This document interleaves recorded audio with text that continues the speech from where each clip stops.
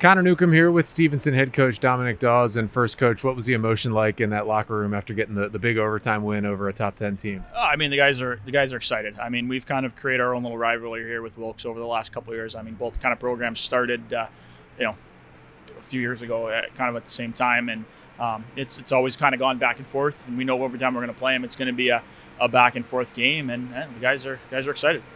Was, there anything that that Eric did or anything that was implemented? Because I know once that three on three hockey comes, it's a completely different game for, for him to get that goal at the end. Oh, it's a good goal, good shot. I mean, it's um, I know he's been a little stressed. He's, he's been struggling finding the finding the net, so it's uh, you know good for him to get the monkey off his his back. But you know, obviously got up the ice with pace and great uh, great attack, great shot heck of a time for his first goal of the season. But I know this game was a lot about the the attack for you guys. But Ryan Kenny was fantastic in goal, and especially some point blank saves. Uh, you know, how big was he for for this team? I mean, he's always been our, our backbone, and uh, you know, you know when you're playing those guys, we're gonna have to wire or um, kind of just take the storm, weather the storm a little bit, and um, I think we did a good job of that, and. I think you know we obviously took care of our opportunities and they took care of theirs. I mean that's it. Really, it's a it's a game of pace when we play those guys. It's it is it's a lot of back and forth, and I mean look at all most of the goals are off the attack.